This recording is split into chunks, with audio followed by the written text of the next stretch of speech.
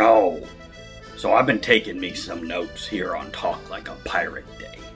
And I've noticed that in Jamaica, you can get yourself a steak pie for like 250. It's not bad. They're pretty tasty and they're known for a little bit of that Jamaican curry spice. It's well done.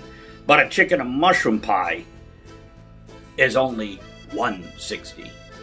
Now, you can also get an apple pie for 217. But if you go across a little bit to Trinidad and Tobago, those prices are all so different. You can get cherry pies for 260, but a mushroom and kidney pie is going to cost you almost 4. It's horrible. You just can't trust these things. Then you go across to uh, let's say Cuba, Barbados. There the prices change all again. And you can get apple and cherry pie at a reasonable rate of 175 but really once you go into the meat pies your chicken pot pies that sort of thing you're going to pay almost five dollars about it.